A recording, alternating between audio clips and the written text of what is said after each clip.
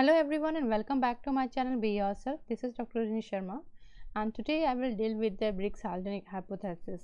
In my previous class of enzymology, I have already discussed about the Michaelis-Menten equation and Briggs-Haldane hypothesis is almost like that of the Michaelis-Menten equation. The only thing is that with this particular uh, value or the constant value which is the Km.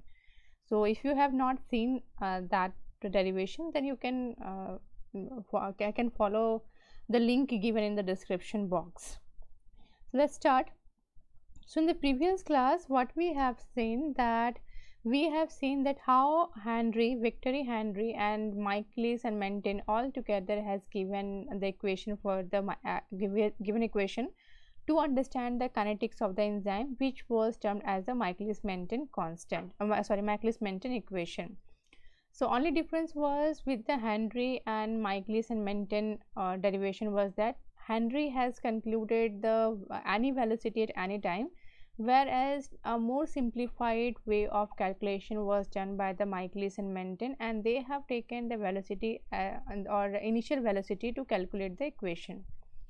Further was that in the Michaelis-Menten equation they have ignored that the uh, that the time when the ES form the, or the amount of ES form at its very initial stage will be very less then very less amount of product will be formed. So, the reverse reaction can be ignored and they have taken that uh, the rate of formation of the e of ES and rate of the breakdown of the ES limited to up to this position. But Briggs-Haldane introduced one more step that there, it is not always that ES will be always at the small concentrations. So, there will be a place where there will be a point where the ES will be breaking down into E plus P. Uh, but he also ignored the reverse reaction that E plus P will combine together to form ES. So, uh, all the steps as mentioned by the Michaelis-Menten will be remain same. The only difference will here that uh, in the rate of breakdown of ES, uh, Briggs-Haldane will introduce one more step which is K2 into ES. So, how this value has come I hope you will be uh, this will be understood to you if you have seen my last video, but still I am summarizing it just very briefly. So, rate of formation of ES will be what rate constant into the substrate. So, rate of formation of ES in this case the substrate is this one and the product is ES. But when we talk about the rate of breakdown of the ES in that case ES will become the substrate uh, this is the product the ES will become the substrate whereas the E plus S as well as E plus P will be the two different products at two different direction. So, this both this direction was included in the uh, Briggs-Haldane hypothesis. And at equilibrium uh, what will be there? The rate of formation of ES will be equal to the rate of the formation of the uh, rate of breakdown of the ES. So, finally, when we will combine both of these equation together side by side or we can we when we put at the equilibrium both the equation together what we will be having? We will be having k1 es equals to k1 minus es but one more uh, equation was there which was the k2 into es so here one more uh, factor was added here sorry. One more factor was added here which is the k2 into es so, so in the Michaelis-Menten equation what it was? When we have taken here es as a common uh, so Michaelis-Menten equation has not considered this one. So, simply it uh, this uh, equation got simplified like this, but on adding k2 what we will happen here when I will take es common then it will become k minus 1 plus k2. So, the above equation will become k minus 1 plus k2. So, here the Ks which was considered in Michaelis-Menten equation will change into Km in case of Briggs-Haldane equation.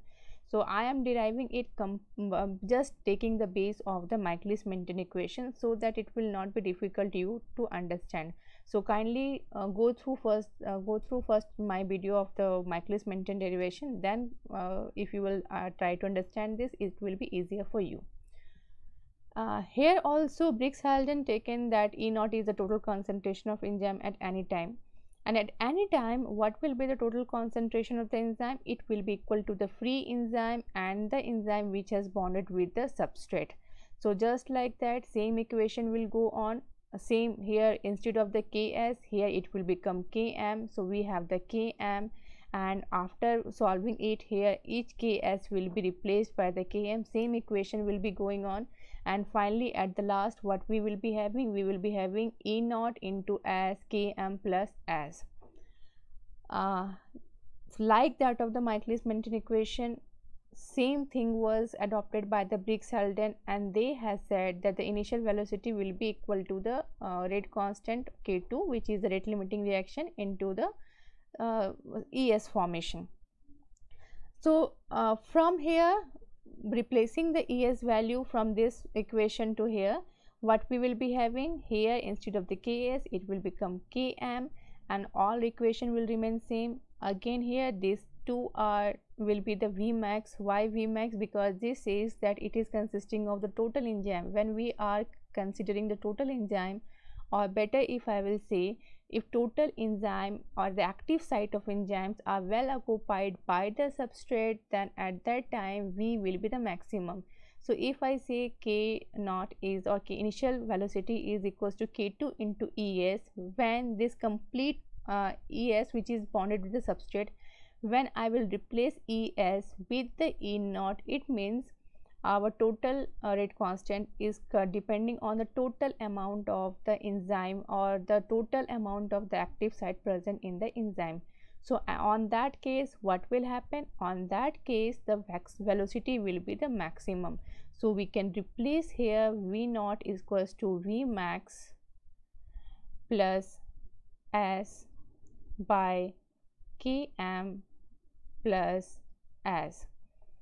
Further further thing is that substrate are always taken and more concentration than the enzyme. So even a minor change in the substrate or the simple change in the substrate is not going to interrupt the uh, uh, total concentration of the substrate. Or we can say that even if we will vary a small amount of substrate on that case velocity will vary uh, with a, no, a noticeable uh, value so, instead of taking any amount of the substrate, better to replace this S with the initial substrate. So, you have seen that the Briggs-Haldane has also followed the same step as followed by the Michaelis-Menten equation and they have also considered the same factors here also. And finally, what they did uh, the same equation was there only difference was, is that in the Michaelis-Menten equation the equation was what Vmax plus substrate naught by ks plus s naught so only this factor which is in the case of Michaelis-Menten equation it was uh, it was k minus 1 uh, by k1 but in case of Briggs-Haldane equation it is or the km will be uh, or I better say ks equals to k minus 1 by k1 whereas for the Michaelis-Menten constant here one more constant uh, rate constant was added with this which is the K2 or the rate constant for the formation of the product divided by K1 or the rate of formation of the intermediate ES. So, only the difference was with the value of the dissociation constant of the ES with respect to this K2 value.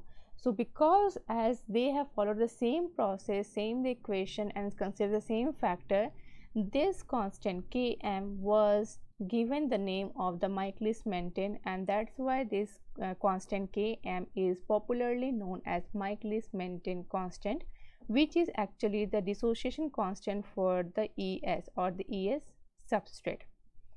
Now, this was all about the Michaelis-Menten equation and the Briggs-Haldane hypothesis but we generally plot a graph for the Michaelis-Menten equation. So, let us interpret with the, uh, the Michaelis-Menten equation or how we can interpret the Michaelis-Menten graph which is this one. So, we, I will discuss how I can interpret this graph, how why this sigmoidal curve is being followed all this in my next video. So, don't forget to subscribe and share my channel.